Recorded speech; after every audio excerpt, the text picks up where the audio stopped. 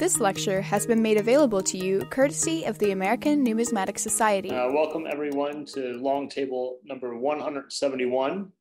Uh, we have Jeff Shevlin today, uh, who goes as the, the so-called guy. That doesn't mean he's a so-called guy, but uh, as you'll learn today, there's there's a, a very explicit meaning to that. Um, he has Jeff has a background in IT. He's been a numismatist since the 80s. Um, he has been the executive director of the American Numismatic Association. Um, for a while, he was the uh, special projects director for the Northwest Territorial Mint, focusing on MACO, which is uh, special, uh, special to us at the ANS because, as many of you know, in 2018, the ANS purchased the MACO archive. So Jeff has actually had uh, some hand in that before it came to us uh, along with Bill Hyder, who I believe is on the call today, um, uh, has uh, written a handful of books on so-called dollars. Uh, one in 2019 uh, called The So-Called Dollars from the Pacific Coast Expositions, and a very recent book uh, published in 2023, So-Called Dollars Volume 1, which focuses on all of the US expositions.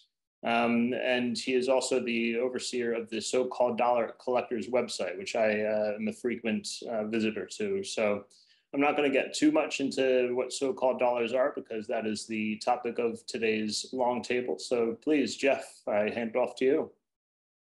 Well, thank you very much, Jesse. Uh, can you hear me okay? Yes, perfect. All right. Well, I'll go ahead and get started. Um, I'm, I think what we'll probably do is uh, if you have any questions, if it's something really important, you can go ahead and add it, but it might be best if you just held it to the end. I'd be glad to answer any questions and um, at that time. So uh, as Jesse said, uh, my name is Jeff Shevlin. I've been a collector of so-called dollars since the mid to latter 1980s. Part of that, I was a collector of most of the US mint series, uh, from pennies up through dollars. I collected quite a few of them. But um, I was attending. I lived in I lived in Sacramento at the time, which I eh, where I currently live in Sacramento, California. I was attending a Sacramento Valley Coin Club, and at that coin club, as many coin clubs do, they had a, a little auction. I ended up buying a medal at that auction that I had no idea what it was. It had Liberty Bell on one side, the Independence on the other side, and I started researching it he was five, the. And within a few years, my interest from coins waned and I started, my interest in these historical metals grew. And within three to three years or so, I transitioned from being a numismatist that collected coins to a numismatist that collected historical metals and specifically so-called dollars. So a so-called dollar is uh, a metal that's about between 33 and 45 millimeters. They're, and they're struck to commemorate events in United States history. They're not store cards, they're not advertising cards. Uh, religious medals are not so-called dollars. Um, awarded medals are not. So when you kind of take away all those things that are not so-called dollars, you're left with a group of medals, approximately the size of a silver dollar, that are just commemorative in nature. The first standard reference book for these medals was published by Hibler and Kappen in 1963. And um, I, and it was reprinted in 2008. And Bill Hyder and I, my Bill Hyder is a very good friend of mine, and we have formed a partnership where we've been uh, giving presentations and writing books, articles on, on these medals and I attend the 10 to 20 largest coin shows in the country. Bill often attends them with me, uh, just buying and selling these metals.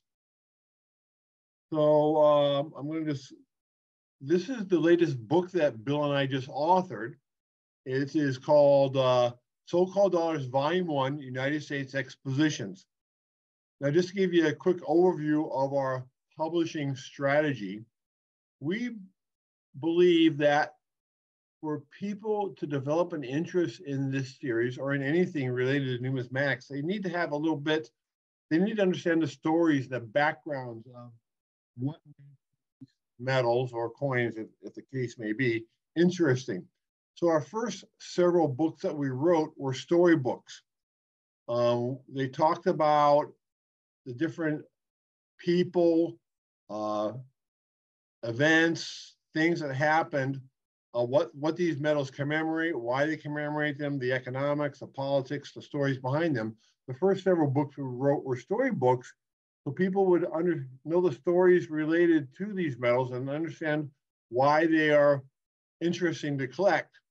And then this is our latest book, and this is a reference book. So it's not quite a storybook. We have incorporated hundreds of small stories into this book as we cataloged each individual medal. But it's not um, it's not a storybook like our previous book was so-called dollars from the Pacific Coast Expositions. There are eight expositions held on the Pacific Coast. And we have about 10 to 20 pages of historical information associated with each one of those expositions. And then we cataloged all the medals from those expositions. Well, this one catalogs 67 expositions. Every exposition held in the United States which struck a historical medal, so-called dollar size, for them. In the previous book by Hibler and Kappen, they cataloged about 20 expositions. So this is much more comprehensive. There's hundreds of medals that were never cataloged before, never published. Using the uh, Lewis and Clark exposition, the previous reference book, they cataloged four different medals. And Bill's book and mine, we catalog over 20. As a forward by Ken Bressett, who's a good friend of mine, we printed a thousand books. We did a hundred deluxe editions, which we sold for $149.95, and those are sold out. The regular edition sells for $59.95. And uh, we printed this book last year. We have a few hundred left. So we've sold about 700 of them so far, 750 or so. It's 270 pages. It's full color, top quality. And we've also created for this book a new numbering system. Part of the problem with the current reference book or the previous reference book by Hibler and Kappen is that the numbering system was broken, it was obsolete, and there was really no way to add new metals that needed to be cataloged into it, into it in any um, without just totally messing everything up. So it was just kind of a broken system. So we've come up with one of the first things we needed to come up with was an, a new numbering system that would not become obsolete and would not break. So basically, in this book, we introduced that op, that numbering system, which has a unique number for each exposition or a group of small expositions. Within that exposition, each medal is sequentially numbered, starting with the official exposition medal as number one. So if there's like 30, this is using this as an example, this is the California Midwinter Exposition, which is exposition number seven. SH stands for Shevlin and Hyder. And seven represents the um, California Midwinter Exposition. And there was about 30 different medals from that exposition. So they're numbered 7-1 through 7-30. 7-1, this is the official medal. And um, it was struck by United States at that exposition. And then the digits following that, in this case, we have the letters GP, which stands for gold plated. And we have uh, abbreviations for the different compositions, gold, silver, copper, brass, or whatever they may be. For so-called dollars, there's probably about 20 to 30 different compositions those metals are struck in. And on occasion, we have small varieties.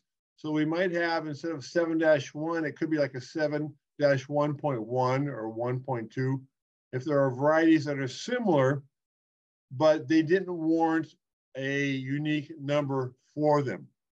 So this numbering system will can be expanded and grow and will never become obsolete. You'll always be able to group together metals from any exposition, this, any exposition as in the future, new additional metals become discovered that were not previously cataloged.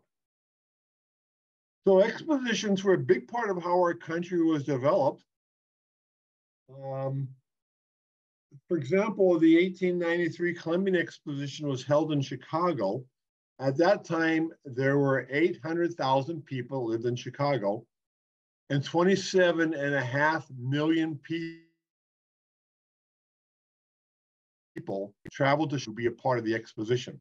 And these expositions covered large areas with hundreds of buildings in many cases. So you really couldn't go to uh, see everything in a day, even in a week. People stay there for weeks or sometimes several weeks just to see the different ex exhibits that were at these expositions. And if you can imagine what happened in Chicago when 27 and a half million people came there, if you owned any type of business, you were probably did more business that year than you probably did in the previous 10 years. So the different communities would lobby the federal government to have the right to host these expositions in their communities because of the positive economic impact it would have on their communities. so the first exposition that was held in the United States is the 1853 New York Crystal Palace Exposition. There are two medals that were struck. And this is actually the first one of the pages of our book for that exposition. Um, what we have done is uh, for each exposition, we have a one-page introduction. In some cases, a little bit more than that, but typically a one-page introduction that talks about the exposition. And then we have, in this case, there are two medals for the exposition, and both those are cataloged below on the same page here.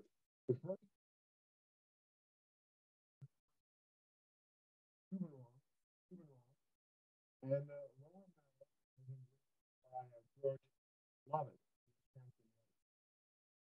And for each one of these medals, we have uh, nice, high quality photos of them. Uh, we have the numbering, the number system for it. And the first medal is struck with top white medal. So uh, those are the three compositions that medal is known in. We have uh, sizes. And the reference number on the right-hand column is the current HK number uh, says new, so that's the medal that was not previously cataloged. So this is the official medal uh, engraved by William Barber for the 1876 Centennial Exposition is held in Philadelphia on the 100th anniversary of our independence. And I'll just kind of go over with you why this particular medal, and the same thing could be said about every one of these medals, the symbolism on each one of these medals um, is, you know, represents something of a story that needs, to, you know, that the medal is trying to tell. And not only does the medal tell a story, but if you were to take the time to research who struck it, why they struck it, where it was struck, you could probably write a book on any one of these medals if you were so inclined. And Bill Hyder and I actually did that on one of these medals we'll get to a little bit later.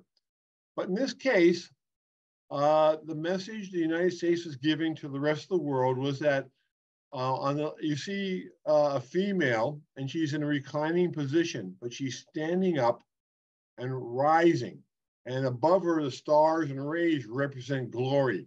So the message here is the United States can be rising up to be recognized as a world power.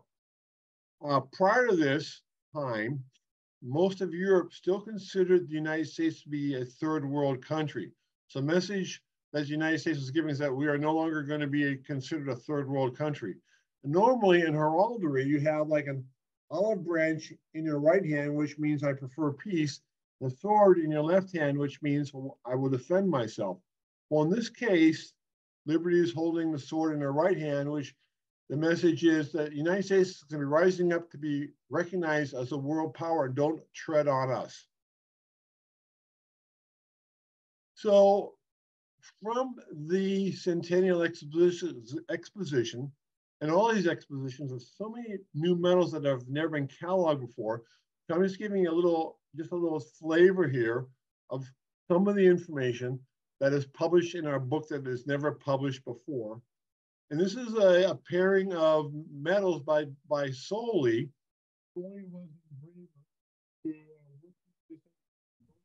Your voice is going in and out. I can't hear it. I'm sorry. Okay, let me try to be more focused. Thank you. So George Soley was an engraver that worked for United States Mint. And these are uh, one of the, in the center at the bottom is called a Soley's star reverse die. And that die is paired with five other obverse dies that were engraved by George Soley.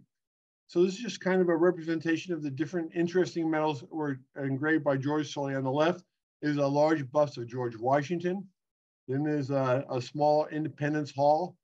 Then we have a seated Liberty, a seated design above it, the American colonies to the right, and the Centennial Fountain. And I could talk about each one of these, but I'm going to just briefly talk about the American colonies.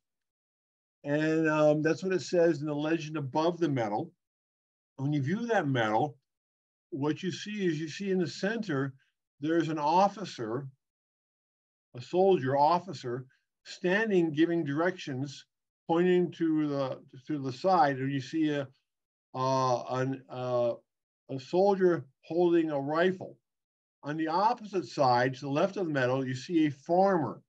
So basically, what this message, the message this medal is giving is that George Washington was able to transform the Revolutionary uh, Army from a bunch of farmers into soldiers that eh, were able to successfully beat, beat the most um, significant army in the world at that time, um, you know, the British.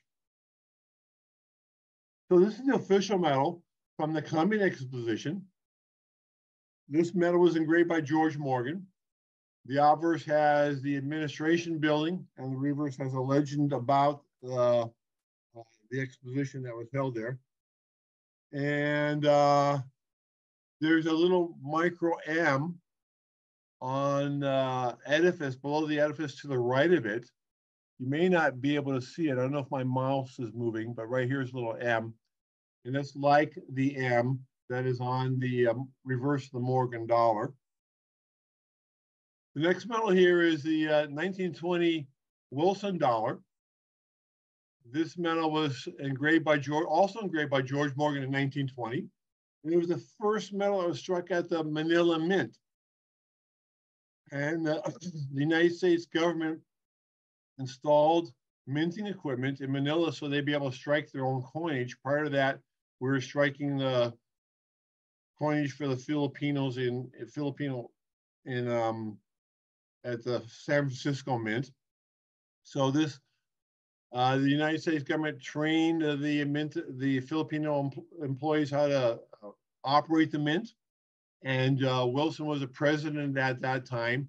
The verse shows a young child representing the Philippines with a mint in front of him, and he's pouring uh, planchets into the mint, and uh, we're kind of teaching them how to strike their own coinage.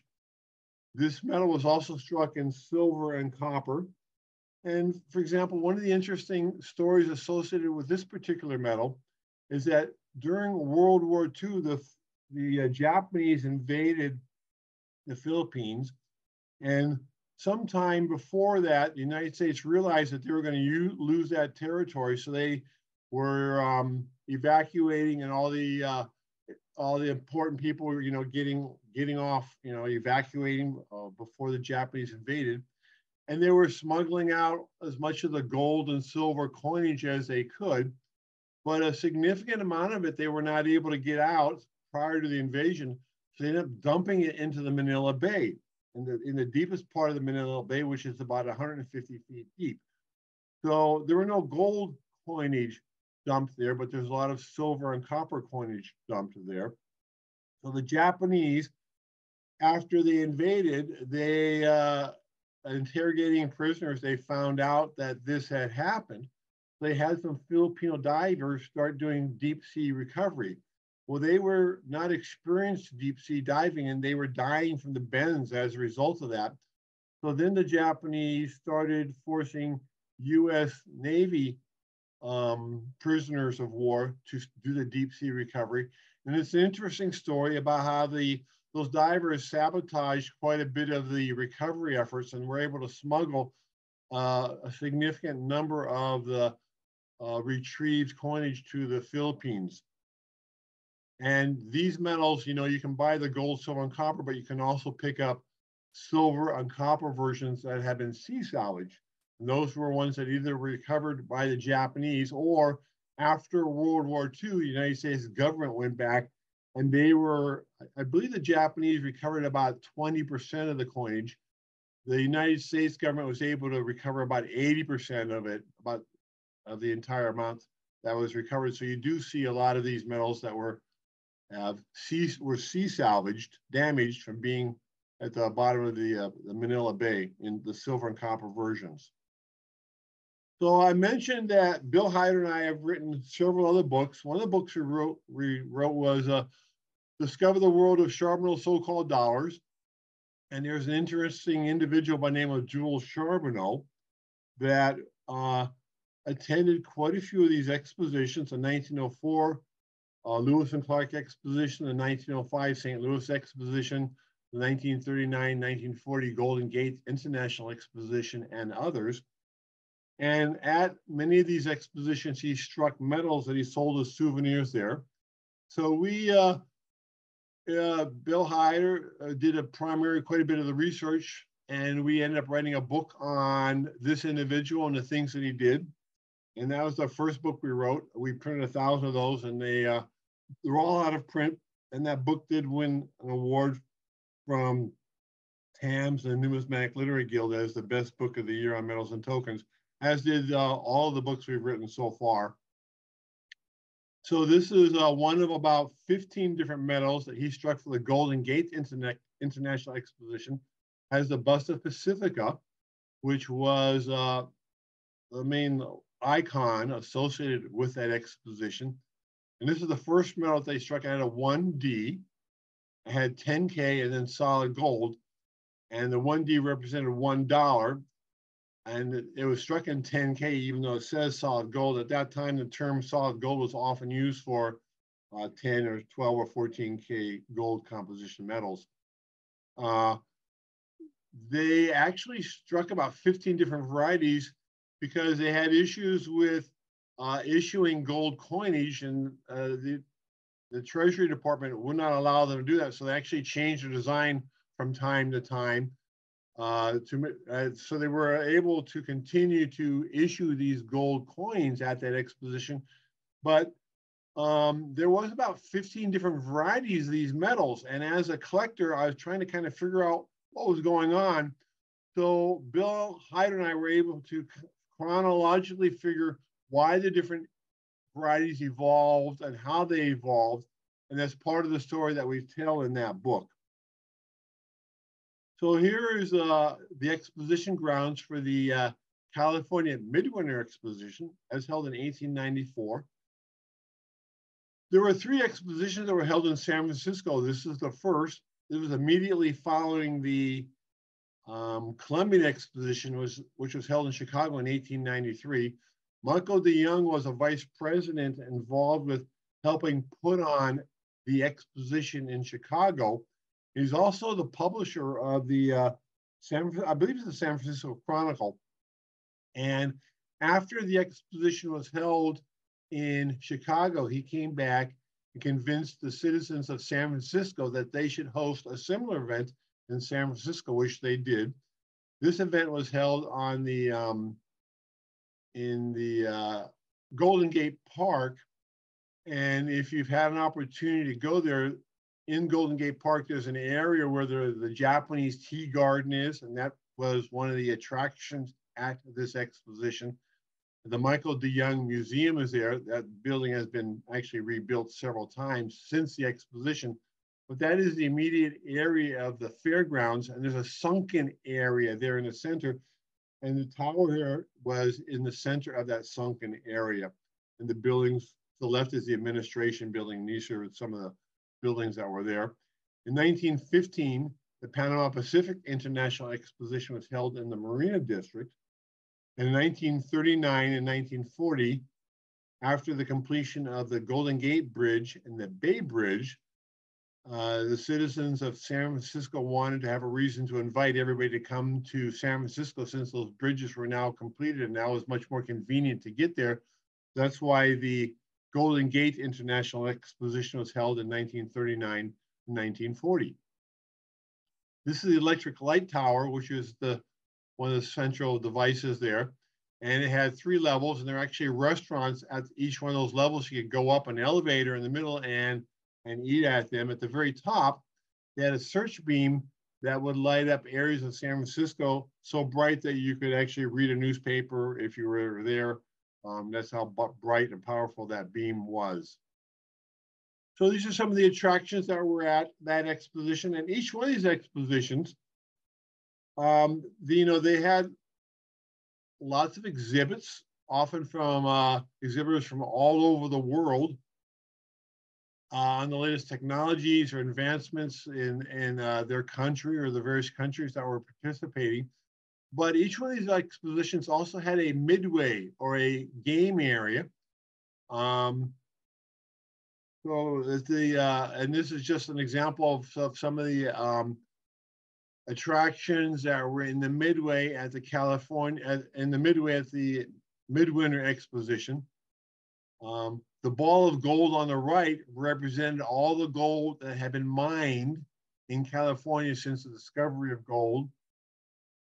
Uh, Dante's Inferno up above was um, an exhibit that, that gave you a, a, a, let you know what the afterlife was going to be if you did not leave a, a, a healthy representative quality life.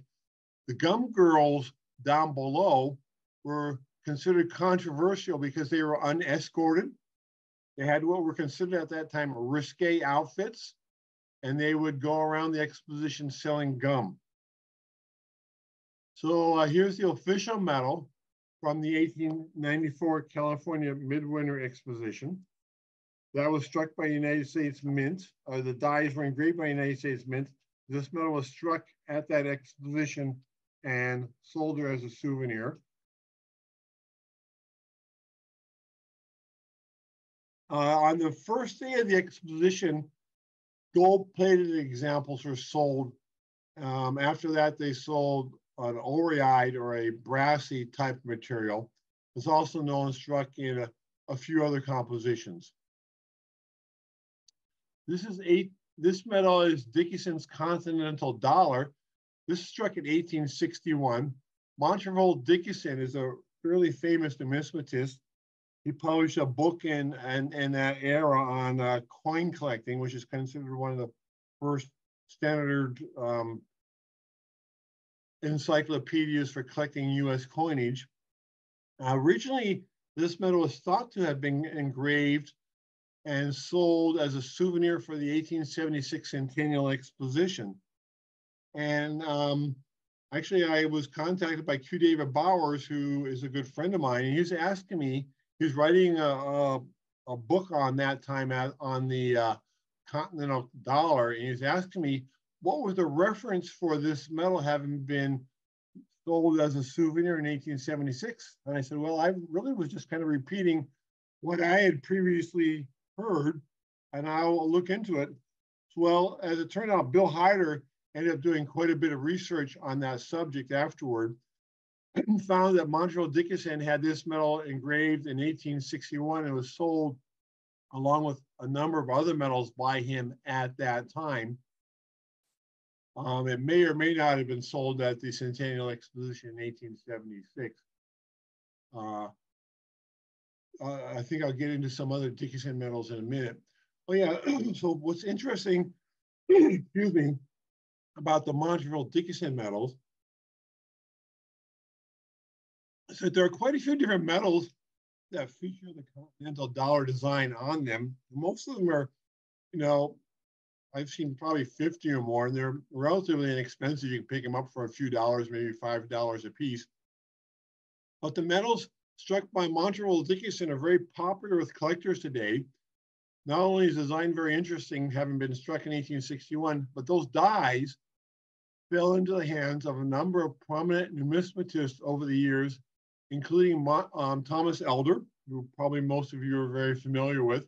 This is a medal that was actually struck by Thomas Elder in 1917. He acquired uh, Dickinson's dies, quite a few of them. And the Continental Dollar, never, he never actually used the obverse and the reverse die to restrike exact copies of them. But in this case, is an example of where he used the obverse die of the Continental Dollar and muled it with a um, a different uh, reverse die and uh, sold these medals as souvenirs uh, in 1917. And after Thomas Elder had those dies, um, Q. David Bowers also acquired them in 1961. He struck white metal examples of uh, the Dickinson with Dickinson's dies. And here's a flyer that was produced by Empire Coin Company, um, which was a company owned by Q. David Bowers at that time. And here's the uh, little envelope that they were uh, distributed in.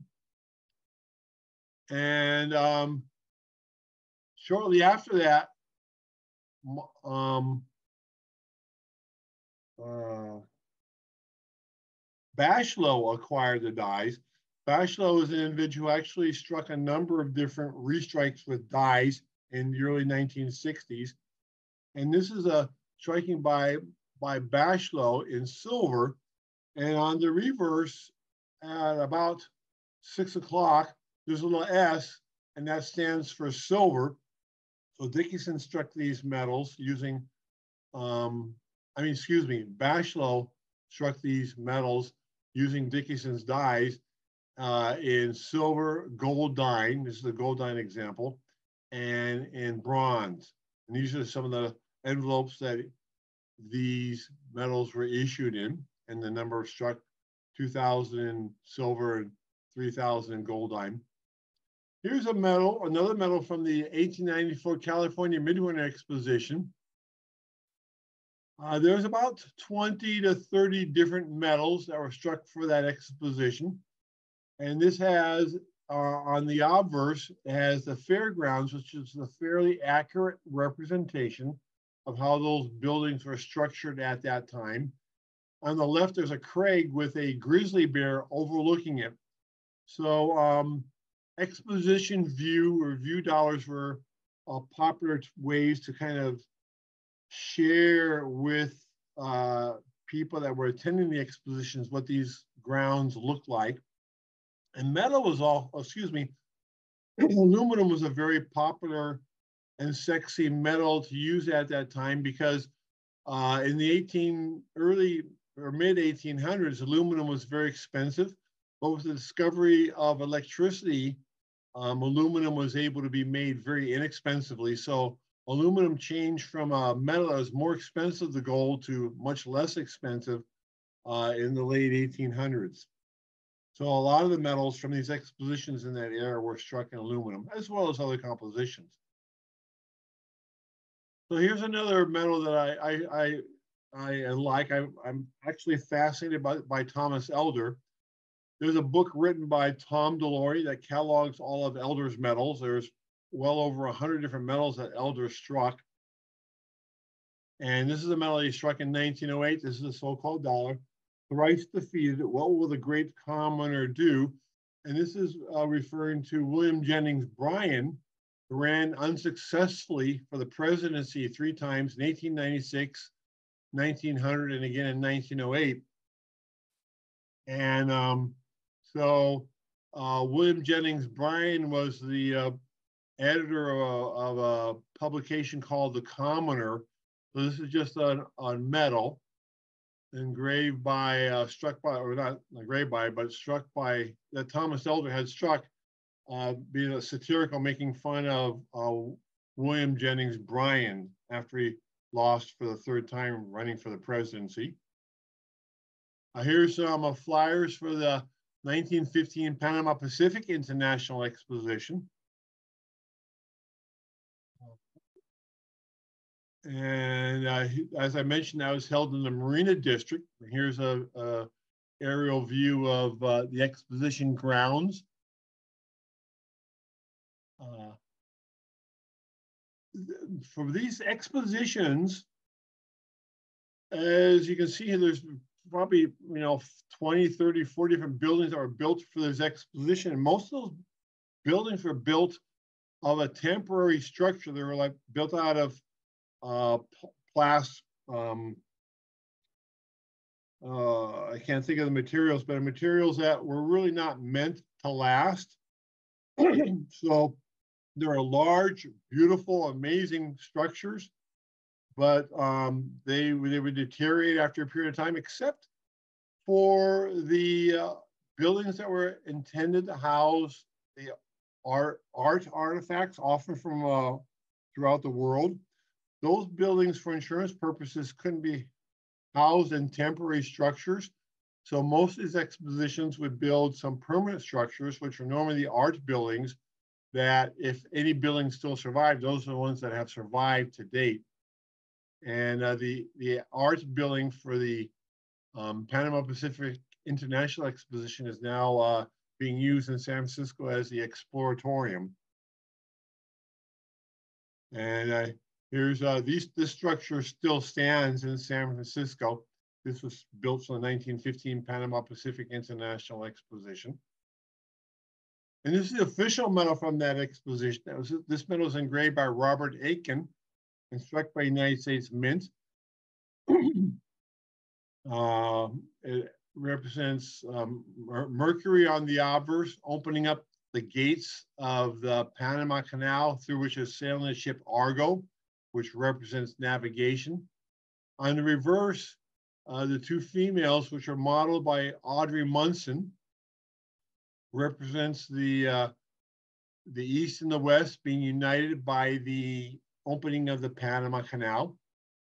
This is the silver version. It was also struck in different compositions. This is also struck gold plated. This medal was not listed as gold plated by Hibler and Kappen. And here's a flyer that talks about the medal that was issued. Now, Robert Aitken uh, designed two of the commemorative coins that were sold for that exposition. Uh, the United States Mint struck five coins, a silver half dollar, a gold dollar, a gold two and a half dollar, and two gold $50 coins, around an octagonal. The round and octagonal gold coins were engraved by Robert Aitken, who engraved the official medal. And as a collector, I knew that there were different varieties of the bronze medals, so I would buy them and um, I would never sell them until uh, and and then about you know I, after maybe collecting these for well over 20 years, a good friend of mine, the coin dealer in the Northwest, um, Michael Sanders, showed me this this flyer, an advertisement that he had seen that was advertising the medals for sale, and I thought it was very interesting. But he said, "Well, take a look at the section there, which I have enlarged on the right." And that's where it identifies the different metals that were sold at the exposition. It mentions the bronze was sold as a bright bronze, an oxidized bronze, an antique bronze, and a statuary bronze, along with the gold plated and the silver ones. So that's when I that when that's when the light went on, I realized, okay, so that's the different varieties of these metals, which I knew existed, but I really couldn't figure out, I didn't really know for sure what was going on. So after that, Bill Hyder and I got together and we went through my collection of metals and sorted them and they fell into those four different categories. So prior to that, it was believed that just a bronze version was minted and most of the grading companies and or the grading companies and auction firms were you know just using those as their standard reference. But now you'll see that since the publication of our book and several articles that we've written on this topic, you're starting to see the, uh, the adaptation of the different compositions that the bronze metals are struck on being on the uh, on the catalogs as the metals are certified or being offered for sale and auction. There's another interesting so-called dollar. This is a Bryan dollar. I mentioned William Jennings Bryan briefly a few minutes ago. This is a satirical metal. The uh, cartwheel in the center represents the size of a silver Morgan dollar, 38 millimeters, and that's how size that's the size of Morgan dollar or peace dollar. The total size represents how large a silver dollar would have to be if it had a dollar's worth of silver in it. Now, William Jennings Bryan was running on the silver platform, for the free coinage of silver because he felt that uh, the silver coinage, you know, prior, sometime prior to that, a, a silver dime or silver quarter or half dollar had that amount of silver in it. Well, that was no longer the case in the late 1800s as a silver dollar only had 47 cents worth of silver in it. So he was running on the platform for the free coinage of silver to try to rectify what he felt was uh, an issue with that. So this is a piece that was struck in silver, uh, satirical, making fun of William Jennings Bryan's kind of how would you like to carry a silver dollar in your pocket that was that large? And um, here's just uh, William Jennings Bryan was actually controlled the Democratic Party for about the 12 years, those 12 years. And this is just some cartoons associated with his famous Cross of Gold speech at the 1896 Democratic National Convention. Here's another interesting so-called dollar. This was struck in 1876 for the Centennial Exposition. And uh, there's probably over 100 medals that were struck for that exposition. This was, uh, this is called the Lovett Battle Series.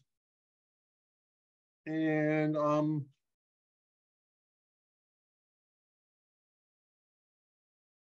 this was engraved by George H. Lovett.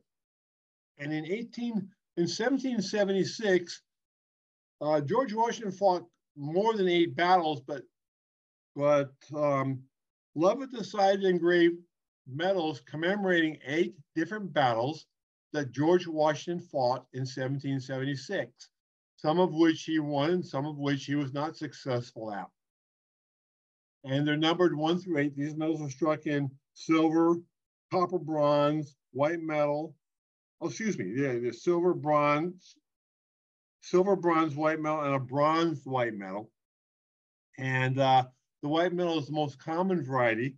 There's probably about 15 or 20 of these that have been certified in white metal by the various grading companies. And part of why these metals are so interesting to collect is I um, have, as, as a result of collecting and owning these medals in my collection, and there's eight of them. This one is from the Battle of Trenton, which was fought on December 26 in 1776. I've taken the time to research uh, what happened in each one of these battles, and my respect for George Washington has just grown immensely because of the amazing things that he was able to accomplish during that period of time. So the Battle of Trenton took place on December 26. Uh, George Washington crossed the Delaware River. Uh, there's actually a, a famous painting uh, depicting that. I don't know if I have it. Yeah, here it is depicted here. And so basically what I want to just kind of, without going into a whole lot of details, just talk about the fact that each one of these medals, as I mentioned, has a story to tell. And if people that collect them, when you hold that medal in your hand and you start to think about what happened at that, you know, what happened in, at that, that time in New Jersey on December 26, in 1776, those medals become so much more significant to you and you appreciate them so much more. There's another couple of some more medals, um, so-called dollars. Uh, this is from the 1905 Lewis and Clark Exposition. Uh, this medal uh, is cataloged. Uh, if it was, well, let's see, what do I want to say about it? It's conjoined busts. Now, in Hibler and Kappen, they actually have four different medals with conjoined busts on them. And Bill Hyder and I have cataloged 18 different medals that um, have that, you know, different different designs, conjoined busts of Lewis and Clark on them. This medal was struck by Joseph Mayer and Brothers of Seattle. And uh, here's another popular medal, so-called dollar. This is from the 1893 Columbian Exposition. The obverse was engraved by Charles by St. Gaudens. The reverse was engraved by Charles Barber. And there are a couple of different varieties of different this, this of this metal that are cataloged by Bill Hyder and myself in our book. There's another metal that I find quite interesting. This is engraved. This was engraved by William Barber. This metal was struck in 1878 by United States Mint. There are modern restrikes that were also struck by the Mint after that. It was originally struck in silver and in bronze.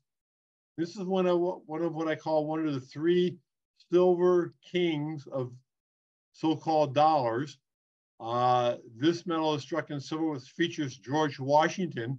There's another silver medal that features Ulysses S. Grant, another medal in silver that features Roosevelt. I consider those the three kings of silver so-called dollars. This medal was engraved for the 1909 Alaska Yukon Pacific Exposition by George Morgan. There are different varieties of this medal. This is a gold plated variety. And in um, one of our books that Bill Hyder and I wrote, I acquired the dies that were used to strike this medal. And in the deluxe edition in our of our books, I include a medal embedded into the cover. And I chose this medal design to embed it in the cover of our book my medals are are engraved or engraved, not engraved, but are struck by Daniel Carr, a rather famous mentor. And the reverse, I had him create a die that was commemorating the release of our book. There's another popular medal. This is the 1892 Wells Fargo Centennial Medal. This is this is um, Wells Fargo had been in business for 50 years or 100 years at that. No, 50 years, I believe, at that. Oh, no, excuse me. Um, yeah, this is struck in 1902 by Wells Fargo. Nobody knows who actually engraved or struck this medal. And it was given to every employee of Wells Fargo who had worked for that company for at least one year at that time. Uh, here's another interesting medal. This is struck in gold for the 1905 Oregon Centennial Exposition. It features Eisenhower on it. This is also struck in a number of different compositions. As a standard reverse, there's about a half a dozen different obverse designs with this reverse for uh, the 1959 Centennial Exposition or exposition held there. Oh, here's the uh, the um, Ulysses S. Grant Medal. struck in 1869. It's also struck by the United States Mint. It was engraved by William Barber. It was struck for the completion of the uh, Transcontinental Railway, um, which was completed May 10th, 1869. And that concludes my presentation. Does anybody have any questions or anything they'd like to add? Excellent. Thank you, Jeff. That was, uh, that was excellent. A nice uh, introduction to so-called dollars. Uh, I don't see any questions in the chat. So if anyone does want to ask, you're more than welcome to unmute and ask, or if you want to put it in the chat, I'm more than happy to um, to to ask for you. Uh, one one of my favorite so-called dollars is comes from the 1894 Midwinter Expo, and you didn't show it, but it has the Firth wheel on it. Uh, yeah. So yeah. The Ferris wheel quite famously was introduced at the 1893 uh, Columbian Expo. And when they brought the idea back to San Francisco, uh, a gentleman with this surname Firth uh, created the Firth wheel instead of the Ferris wheel. And I've actually seen um, uh, descriptions of the medal claiming that the inscription Firth wheel is an error and it's supposed to say Ferris wheel because we all know it as a Ferris wheel now. But, um, uh, you know, at the time, uh, each of these giant wheel rides were uh, had the names of the creators. So I just thought that that was pretty interesting that the sometimes people try and correct the Firth wheel uh, so-called dollar when it is in fact the Firth wheel. Right. Yeah, I've heard that before too. Yeah. Uh, but yeah, you, it is it is accurate calling a Firth wheel. At that time, those rides were not known as Ferris wheels. That's a term that evolved later on. So uh, Ferris did create the first one, and Firth created the one that was used in San Francisco. It was a much smaller version, much much smaller version than of the Ferris wheel that was at the then that that was at the Columbian Exposition. I have a question. This is Ken Edlow. Um, I enjoyed your presentation. I have your book. Uh, I'm wondering, I think you indicated that you're going to distribute something that attaches a value to medals, and I, let me follow up. And if you are, um, I presume it, it ties very much into the, how rare they are and the condition, because I would imagine you follow up that these medals aren't worn particularly like coins would be. So can you talk a little bit about that? Yeah, sure, Kenneth. Um, first of all, yes, uh, for my the, the, previous book to this book that we just published was so-called dollars from the Pacific Coast Expositions. As I mentioned, there are eight expositions that were cataloged in that book, and probably a, several hundred medals. And so shortly after that book was produced, I came out with a, what I call a pocket guide, which uh-huh. is a small book. It's maybe about four inches wide, about six inches tall. You can actually fit it in your your, in your coat pocket. It has photos of all the medals that were published in that book, the different compositions that were struck in, and values in various grades from extra fine to MS65. So hmm. when Bill and I write our books, we do not put values in them because, as you all know, those values soon become obsolete. So instead, what we do is we publish this pocket price guide, which will be updated periodically in values. So our current book, which has uh, probably six or seven or 800 medals in it, once that book is sold out, probably towards the end of this year, I'll be coming out with an updated version of our pocket price guide, which will have photos of all the medals in that book and their values in various grades. Okay, so I'm, I hope you'll let us know when it's available. So, oh, I certainly will.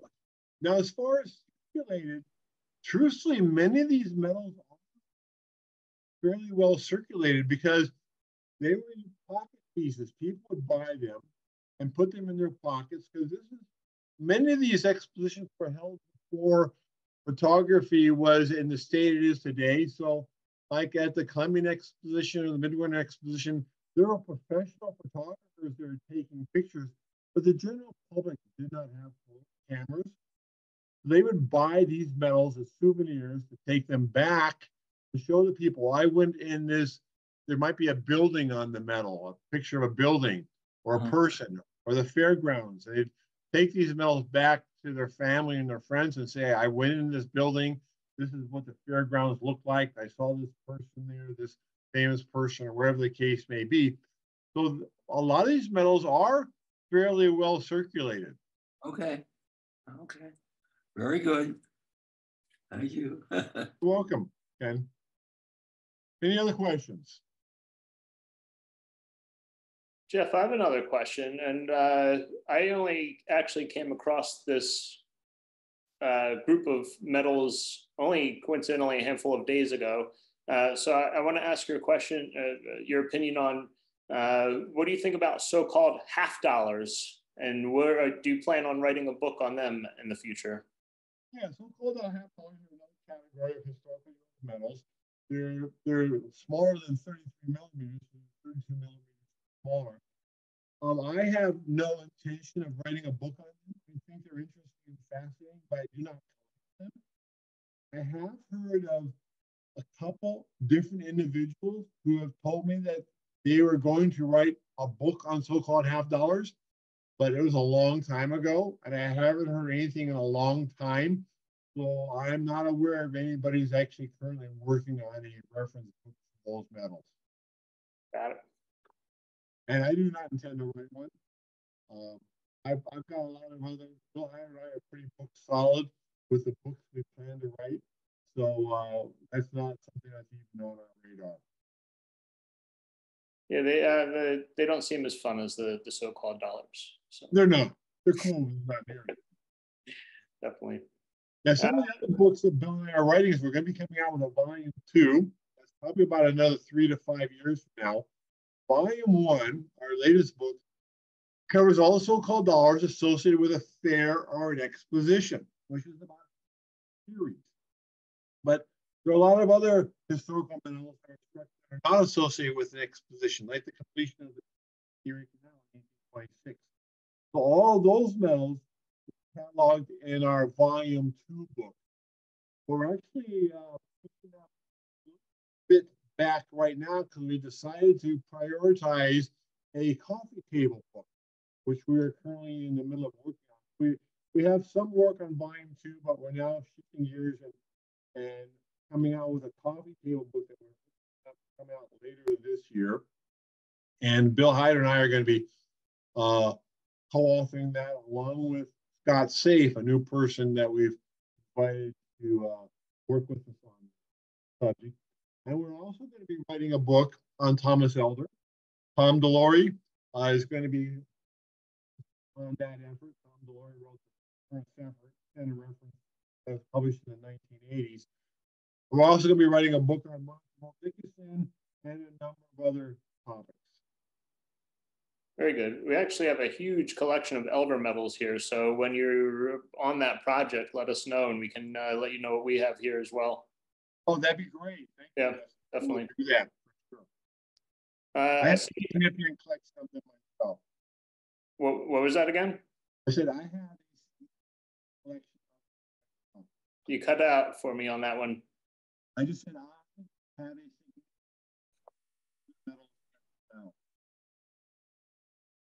Can you hear me?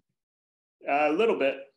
Okay. Well, um, I don't know what the problem is, but we're having some uh, uh, an audio issue. But I just said I also have a significant collection of L. Thomas Elder medals. Got it. Got it. I heard you that time.